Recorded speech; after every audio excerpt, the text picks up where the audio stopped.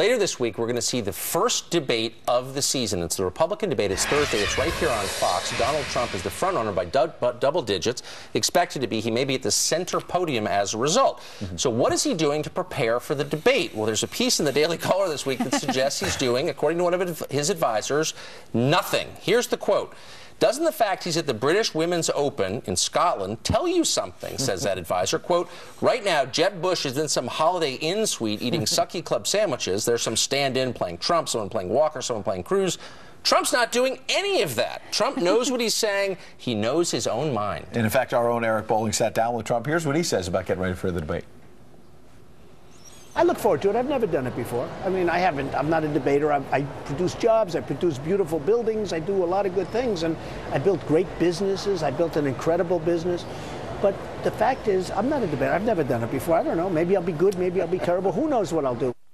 Oh boy. And Trump is uh, leading the polls, as you mentioned, but his Republican rivals say it's only temporary. Take a listen to Jeb Bush and Rand Paul, uh, you know, on one hand, acknowledging his uh, Trump's rise in the polls, but also trying to downplay it a little. Watch this it's definitely a phenomenon. I think he's captured uh, the, the deep frustration that people feel. He's, in a very graphic way, appealed to people's anger about those things. And I think it's, it's important to be respectful of that, make the case that we can fix these things. And over time, the Trump phenomena will either succeed or fail based on his proposals. I think this is a temporary sort of loss of sanity, but we're going to come back to our senses and look for somebody serious to lead the country at some point. So you, you, can hear the conversations going on in these campaign yeah. offices. As the advisor, say, look, you're above this, float right. above it, be the Zen master, don't let him in your head.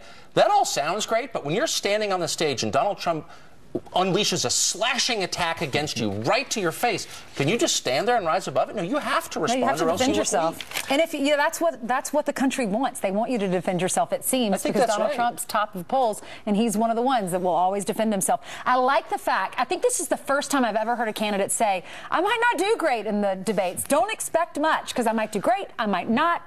So he's I don't do smart this. Guy, I know though. how he's to, also yeah, playing the expectations exactly. game. Donald Trump, no dummy. He's, he's like, I know how to build a business. He likes to call people dummies on Twitter, it, but he is playing the expectations How do you game. think he'll do? You think he'll do well? I would anticipate. I mean, look, nobody knows for sure, but based on how he's done, he has outperformed at every step of the way here. Yes, he has. People thought, well, he's not really going to run. He's not going to file the paperwork. Oh, he's going to lose because of the John McCain comment, and he keeps surviving and surviving. And he has the momentum going into this debate. I think the real issue: can Jeb Bush or some other surprise, somebody who's not second or third, not in that top yeah. top tier, sort of stop the Trump momentum? Come mm. up with a moment in the debate that says, wait a second, you're not getting specific about this or that. Exactly. Right. Someone's going to try. Well, speaking of battles, yesterday in Florida, Hillary Clinton and Jeb Bush and others addressed the Urban League. Now, according to people in the Bush campaign, the idea was that this was going to be a pretty calm moment where there wouldn't be open warfare between the candidates. But Hillary Clinton surprised almost everybody by unleashing a series of pretty harsh attacks against Jeb Bush specifically. See if you can catch the allusions in what she said. Watch. I don't think you can credibly say that everyone has a right to rise and then say you're for phasing out Medicare or for repealing Obamacare. People can't rise if they can't afford health care. They can't rise if the minimum wage is too low to live on. They can't rise if their governor makes it harder for them to get a college education and you cannot seriously talk about the right to rise and support laws that deny the right to vote. Hmm. Nobody is, just to be totally clear, that is a slander. You can argue the rest of them, but nobody is supporting laws that deny the individuals right the right to vote, except for felons. But other than that, nobody is in favor. Yeah. That's an outrageous thing to say. And apparently, the Bush campaign caught completely by surprise. Well, Governor Bush did not respond to this. He complimented Hillary Clinton and greeted her when he got on the stage. I don't know if that was the right call or not, but that's what we'll happened. See. Donald Trump's going to be on Cashing In today, 11:30 a.m. Eastern Time with our own Eric Bolling. You saw some from that interview. We've gotten a look at the transcript. There's a whole lot more. You're going to want to check it out. All right.